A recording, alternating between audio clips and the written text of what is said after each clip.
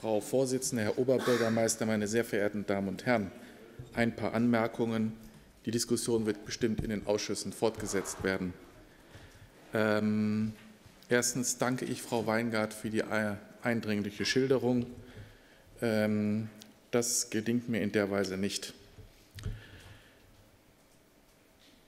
Zweitens, ob dieser Antrag beschlossen wird, in der Form oder nicht. Die inklusive Beschulung ist in keiner Weise gefährdet.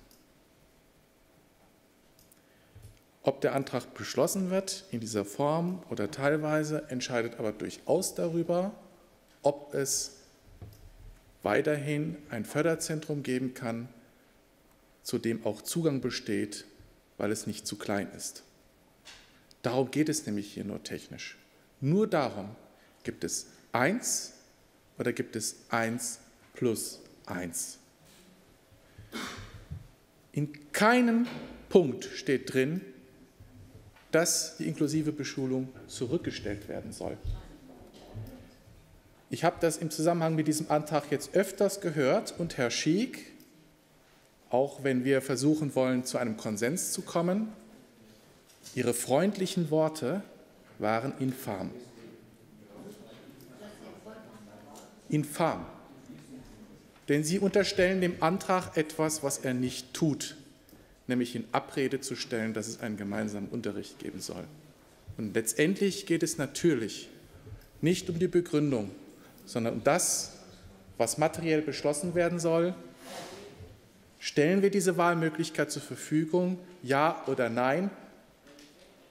Ändern wir etwas an dem Kurs oder lassen wir dieses langsame Absterben seinen Gang gehen?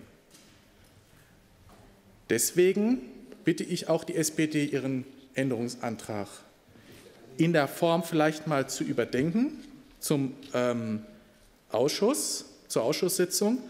Denn natürlich geht es nicht nur darum, Punkt 1, in der nächsten Schulnetzplanung beide Fördermaßnahmen gleichberechtigt als Planungsziel einzubauen, sondern letztendlich muss ja materiell am Ende auch ein Förderzentrum dabei herausspringen. Und das ist der Gegenstand von Punkt 2. Wenn irgendjemand was einfällt, was weniger sensibel ist von der Beschlussfassung, dann bin ich natürlich für Änderungen, sind wir natürlich offen. Aber am Ende muss natürlich auch was herauskommen.